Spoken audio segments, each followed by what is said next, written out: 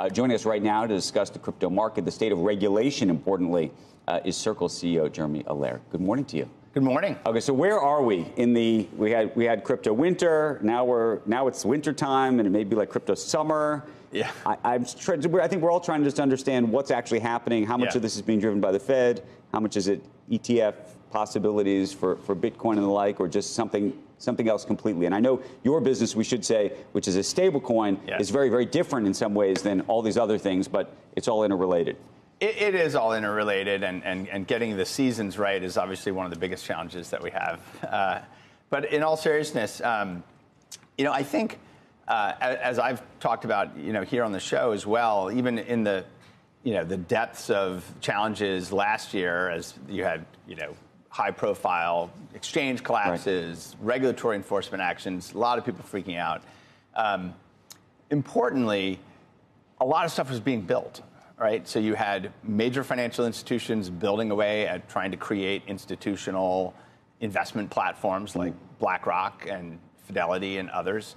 You had uh, very significant investments continuing in the actual infrastructure side of this. So it's sort of like after the dot com bust, you had, you know, 2002, no one wanted to invest in internet companies or e commerce, but broadband was getting lit up, right. mobile devices were getting lit up, all the infrastructure was getting there so that actually the technology became highly usable and useful. And so I think a number of things are happening right now. We're seeing rapid technology maturation. You're seeing that with this huge rally in Solana, which, if, mm-hmm. if you're not familiar, is is sort of uh, makes using blockchains fast and and relatively easy.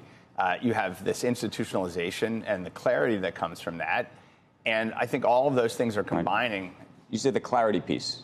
I think there's less. The, the clarity piece doesn't seem so clear still.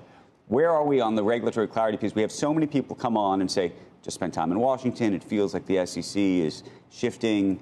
You know, yeah. we've reached escape velocity. They're going to have to deal with us now. Where, what is your real take? So, a couple things. The, the first is global versus U.S. In every major financial market center around the world, they're actually putting in place clear regulations on digital assets and stablecoins. So, Hong Kong, Singapore, Japan, uh, the UK, the EU, UAE. Like you, you go to these places and they actually are doing it. And so the US is behind. I think that's one. Um, in the US, you've got you know really three big bodies of policy issues. You have markets and how to regulate markets, and there you've got a territorial turf war going on uh, and some kind of political posturing. And then you've got stablecoins. Everyone seems to agree about stablecoins. It's just a matter of when, not if.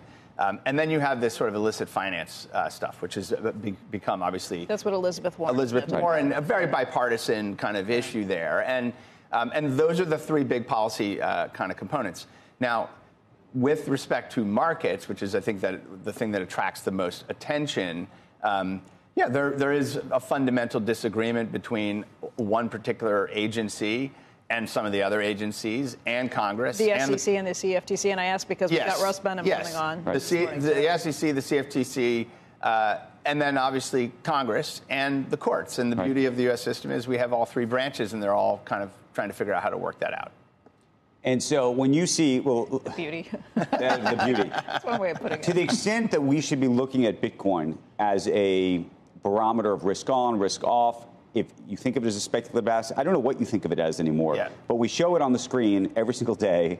Yeah. Uh, because there's a lot of ownership of, of it around the world. Yeah. There's a lot of interest in it around the world. Yeah. What do you think it's an indicator of? Sure. So, a couple things. So, the, the first is digital commodities are here to stay.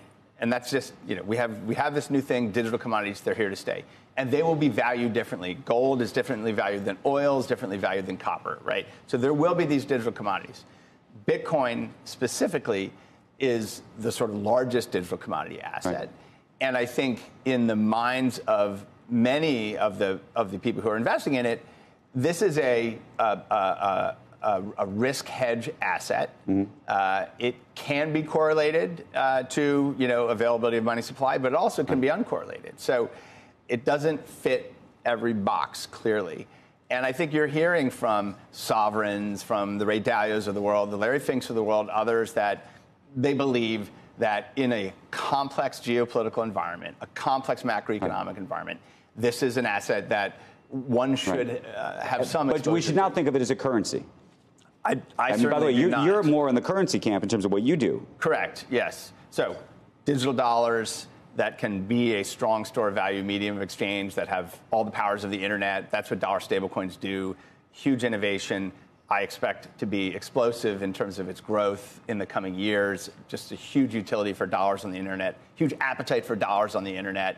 That's a very big thing. And that's distinct from people who want a, a, a currency hedge, so to speak, or a, a, a store of value hedge against Right. the world going to